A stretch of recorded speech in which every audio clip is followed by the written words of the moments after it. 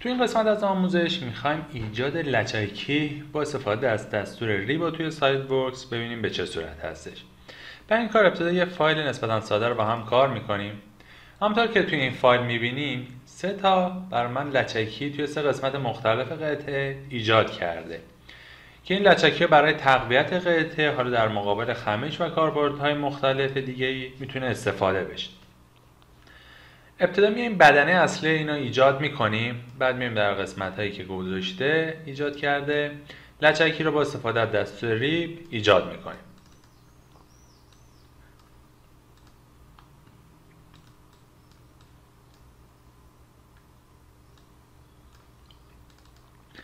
ابتدا میام دایره بیس این قطعه رو من ترسیم می‌کنم. روی صفحه تاپ وارد اسکچ میشم. دایره اولی که گفته به قطر 106 هستش. یه دایره به قطر 106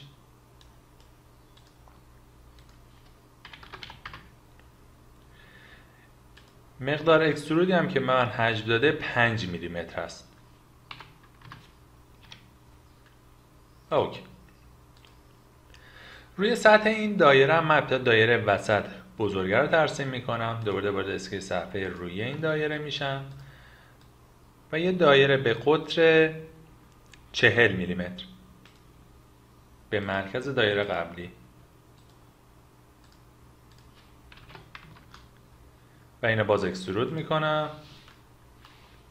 مقدار اکسترودم به من داده 35 میلیمتر.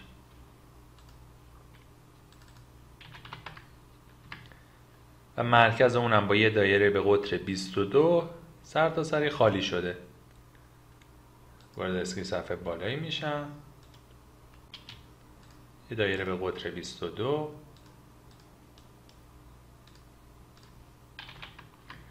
و این بار extrude cut. و از حالت direction حالت through all که تا انتها برا من خالی کنه رو انتخاب می‌کنم. و میریم سراغ این دایره کناری. وارد اسکچ این سطح از قطعه میشم.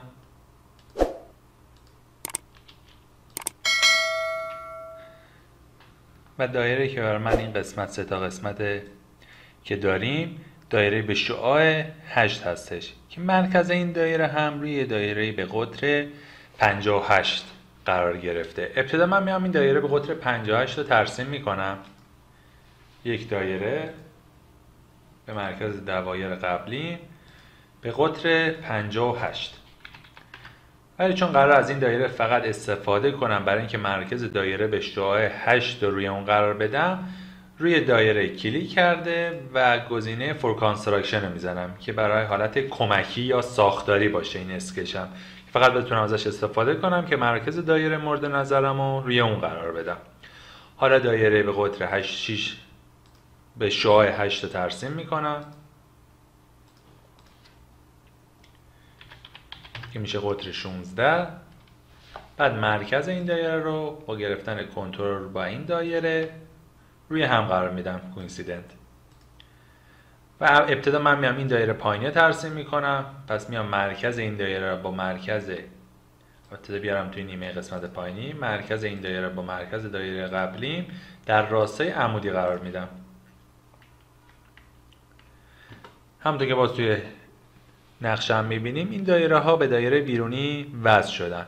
من هم میام با استفاده از دستور لاین از این قسمت دایره یک خط عمودی به دایره داخلی رسم می‌کنم. قسمت سمت چپ و سمت راست. این قسمت هم بخوایم ببندیم می‌تونیم دوباره همون دایره مرجع زیریش رو ترسیم کنیم. یعنی که بیام از دستور convert entities استفاده کنم. میام این لبه رو انتخاب می‌کنم و دستور convert می‌زنم. با این کار لبه انتخاب شده قطعه کارم. تصویر میشه به صورت sketch توی صفحه‌ای که دارم اسکچ می‌کشم. قسمت های اضافه هم با دستور تریم پاک می‌کنم. این قسمت از دایره رو نمی‌خوام و این قسمت از دایره.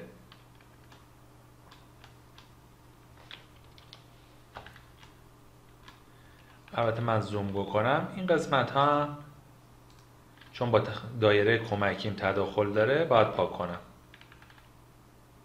به این قسمت یه اسکچ بسته به من بده. عمود بهش نگاه می‌کنم. و از اسکچ خارج میشم. به مقدار 25 میلیمتر رو اکسترود می‌کنم.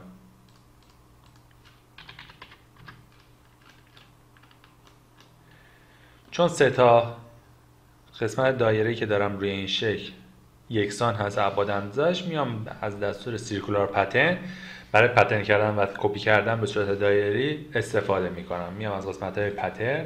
زیر مجموع دستور circular pattern انتخاب می‌کنم. حول محوری که قراره دوران کنه میام به عنوان مثال این استوانه انتخاب می‌کنم که محور وسطش و محور دوران حجم مورد نظر انتخاب کنه. تیک equal spacing فواصل مساوی 360 درجه یک دایره کامل و تعدادی هم که می‌خوام سه تا هستش. حالا خودش باز باز اکسترود مورد نظرم انتخاب کرد. اگه نبود می‌تونم از صفحه کاری به درخت طراحی اونو انتخابش کنم. و اوکی. دوباره دایره داخلیش هم می‌تونم دوباره روی این صفحه اسکچ بکشم. یک دایره به مرکز دایره قبلی. به قطر نهانیم این بار extrude cut می‌کنم. extrude cut ی هم که هست میام سر تا سر انتخابش می‌کنم. Through all. و OK. باز هم می‌تونم بیام circular pattern کنم این cut extrude اما حول محور این استوانه لبه دایره شکل هم می‌تونم انتخاب کنم. feature ی که قراره بر من 360 درجه 3 تا circular pattern بشه میام این cut extrude انتخاب می‌کنم. قسمت زیری این شکل هم باز یک دایره. به قطر 76 و به مقدار دو میلیمتر خالی شده. باید اسکیل صفحه زیری این بار میشم. یک دایره.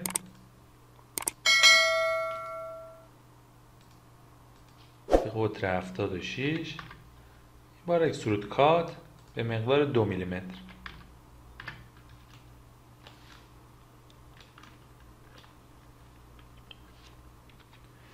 حالا بریم سراغ قسمت های لچکی که توی این شکل هم دارم. برای کشیدن این لچکی توی نواسط سایز بوکس من فقط میام یک خط ترسیم می‌کنم. میام ابتدا میام لچکی که این قسمت پایین داره رو ترسیم می‌کنم. دو تا قسمت بالای باز با دستور سیرکولار پترن کپیش می‌کنم. میام ابتدا تو صفحه right که عمود بر این شکل هم هستش. وارد sketch این صفحه میشم. عمود بهش نگاه می‌کنم. میام این خط یکی از این خطاشو ترسیم می‌کنم. وقتی از بغل نگاه کنیم دقیقا همین صفحه که داریم می‌بینیم این خط من ترسیم می‌کنم. میام با دستور line از روی قطعه یه خط اینجا ترسیم می‌کنم. فواصلی هم که به من داده فاصله انتهای این لچکی تا لبه دایره داده 3 میلیمتر. منم از بغل این نقطه را فاصله تا این نقطه من می‌ذارم 3 میلیمتر. فاصله این لچکی هم تا لبه بالایی به من داده 5 میلیمتر. فاصله نقطه انتهای این خطا تا یکی از نقاط این بالا قرار میدم 5 میلیمتر. البته این نقطهش هم روی این سطح قید coincident قرار میدم. تا ابتدا انتهاش روی این شکلان قرار بگیره. همینطور که می‌بینید از بغل من فقط این خط کشیدم. این خط من full define شد قیداش کامل شد. از sketch خارج میشم. از قسمت features دستور rib و انتخاب می‌کنم. پارامترهایی که این دستور داره ابتدا میگه ضخامتی که می‌خوای به این لچکی این دستور رو rib ت بدی چقدر هستش؟ زخامتی که اینجا به من گفته 3 میلیمتر. تو این قسمت گفته 3 میلیمتر. من 3 میلیمتر قرار میدم. میگه جهت تیکنس دهی زخامت دهید به چه صورت می‌خوای باشه؟ از این خطی که کشیدیم به این سمت می‌خوایم باشه؟ یا به سمت بالا باشه یا از وسط به دو طرف باشه؟ چون ما روی صفحه وسط ترسیم کردیم این خط لچکی رو باید به صورت دو طرفه انتخاب کنیم. قسمت بعدی extrusion direction میگه مقدار جهت حجم دهی می‌خواید کدوم سمت باشه. اگر نگاه کنید روی این شکل هم یه فلش داره. فلشش به این سمته. میگه حجم دهیت به این سمت بشه ولی هدفم من اینه که تو چک این سمتش پر شه پس چیکار می‌کنم؟ گزینه flip material side رو می‌زنم. با گزینه flip material side جهت حجم دهیم تغییر می‌کنه. با گزینه extrusion direction جهت فلش دهی 90 درجه میچرخه. الان این سمته. چون این سمت مثلا کلا من قطعه هم ندارم اصلا OK کنم به من error میده. چون حجمی نیستش که این خط تا اون حجم برای من extrude کنه. پس این فلش مهمه کدوم سمت قرار می‌گیره. باید به سمتی باشه که به قطعه کارم قرار داره. من اینو تغییرش میدم و جهت فلششم به این سمت قرار میدم و OK می‌کنم. اوکی می‌کنم.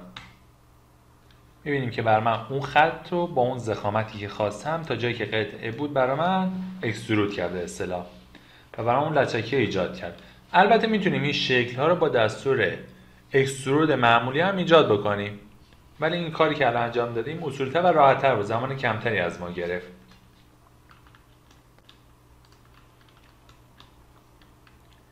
حالا می‌تونیم برای قسمت های دیگرش هم از قسمت circular pattern استفاده کنیم. این لچکی feature هم این rib باشه و مقدار سه تا روی دایره 360 درجه بر من pattern ش بکنه.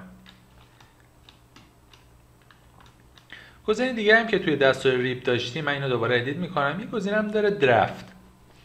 می‌تونیم همین موقع که داریم اکسترود می‌کنیم درفت هم به این ریب یا لچکی من بدم. مقدار مقدار درفت زاویه‌ای که می‌خوام به سطوح کناریش هم می‌تونم بدم. مثلا 5 درجه. من اوکی می‌کنم. می‌بینیم که به صورت 5 درجه برای من یک زاویه به این سطح و این سطح از لچکی هم داد. حالا می‌تونه این سمت به سمت بیرون باشه. آتوار یعنی تیک من دارم به سمت داخل این زاویه رو بده.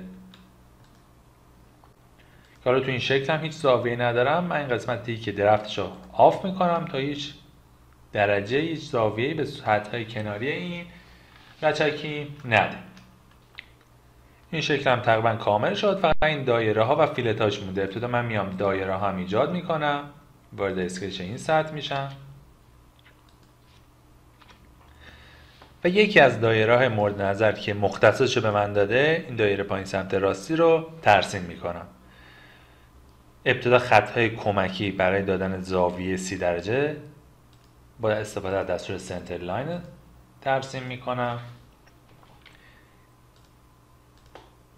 یک خط سنتر رو با زاویه زاویه بین این دوتا خط رو سی درجه قرار میدم.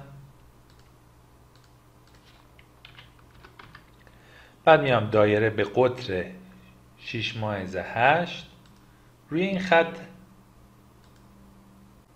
ترسیم می‌کنم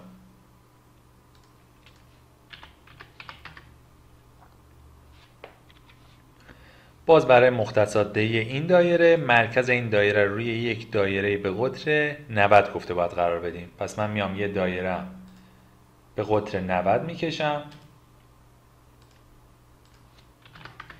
و این دایره با انتخاب کردن و زدن تیک for construction اونو کمکیش می‌کنم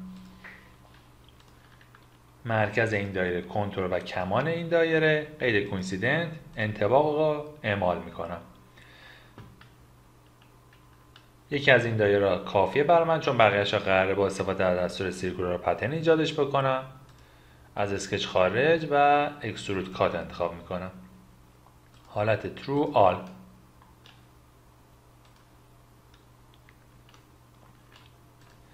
بعد از قسمت circular pattern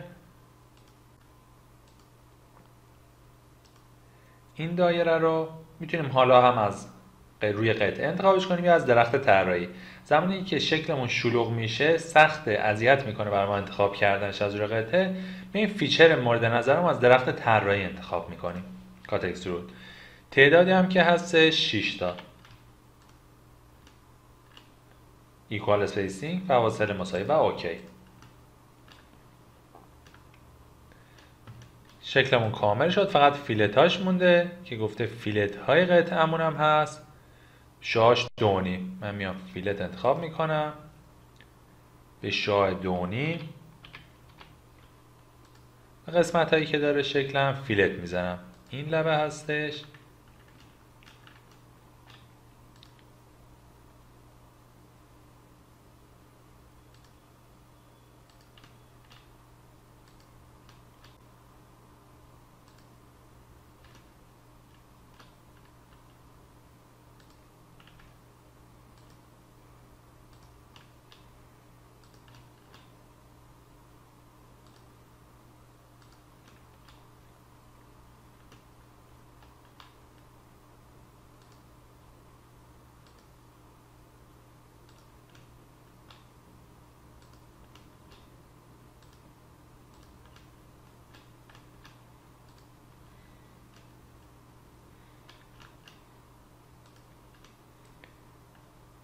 تمام لبه ها رو انتخاب کردم. و اوکی. به شای دونی و اوکی. به این صورت می‌تونیم قسمت های لچکی برای شکل های مختلف رو با هم با استفاده از دستور و پارامترهایی که داشت نسبت هم ساده بود ایجاد کنیم. توی فایل بعدی آموزش بعدی هم باز از دستور ری برای یکی از قطعات والا نسبتا پیچیده تر استفاده می‌کنیم اونو.